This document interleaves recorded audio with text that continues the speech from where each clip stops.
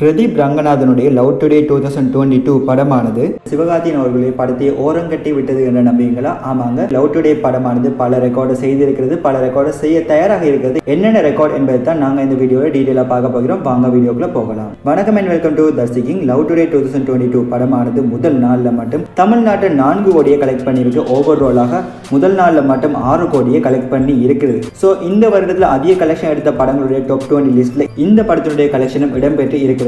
லிஸ்ட்டில் டாப் டுவெண்டியில் அண்ணாச்சி நடித்த லெஜெண்ட் படமும் இருக்குது என்றால் நம்புவீங்களா? ஆமாங்க ஃபன் ஃபேக்ட் என்னவென்றால் அண்ணாச்சி நடித்த லெஜெண்ட் படமானது முதல் நாளில் மட்டும் பத்து கோடியை கலெக்ட் பண்ணி இருக்குது. இந்த லவ் டுடே படத்தினுடைய செகண்ட் டே கலெக்ஷன் ஆனது தமிழ்நாட்டில் ஆறு கோடி எண்பது லட்சமும் ரெண்டாவது நாள் உலக கலெக்ஷன் ஆனது ஒன்பது கோடி எண்பது லட்சமாக காணப்படுது. இந்த வருடத்தில் இரண்டாவது நாள் அதிக கலெக்ஷன் எடுத்த படங்கள் லிஸ்ட் டாப் டென் கலெக்ஷன் எடுத்த படங்கள் பட்டியலில் லவ் டுடே படமும் இடம்பெற்றிருக்கிறது என்பது இதில் சிறப்பம்சமாக காணப்படுது. அதே மாதிரி இந்த படமானது இது வரைக்கும் எட்டு நாளில் மட்டும் தமிழ்நாட்டில் மட்டுமே முப்பத்தி நான்கு கோடி ஐம்பத்தி ஐந்து லட்சத்தை கலெக்ட் பண்ணியிருக்குது. வேர்ல்ட் வைட்டாக ஐம்பது கோடியை கிராஸ் பண்ணி விட்டது.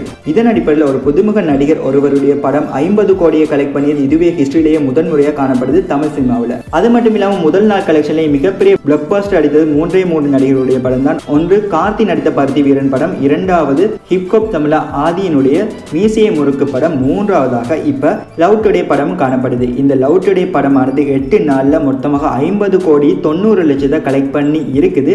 இந்த படத்துக்கு நாளுக்கு நாள் கலெக்ஷன் அதிகமாகி கொண்டு தான் போகிறது. அதை தவிர இந்த படத்துக்கு ஷோ ஃபுல்லாக ஹவுஸ்ஃபுல் ஷோவாக தான் இருக்கிறது. இதனால இன்னும் பல ஷோஸ் அதிகரித்து இருக்காங்க என்பது சிறப்பம்சமாக காணப்படுது. இந்த படம் இதுவரைக்கும் டோட்டலாக ஐம்பது கோடியே தொண்ணூறு லட்சத்தை கலெக்ட் பண்ணி இருக்குது இந்த படம் ஒருவேளை நூறு கோடியை ரீச் பண்ணா இந்த படம் நூறு கோடியை ரீச் பண்ணுவதற்கு பல அறிகுறிகள் காணப்படுது. ஒருவேளை இந்த படம் நூறு கோடியை ரீச் பண்ணா இந்திய சினிமாவிலேயே முதல் டெபியூட் படத்தில் நூறு கோடியை எடுத்த ஒரே ஒரு நடிகராக பிரதீப் காணப்படுறாரு.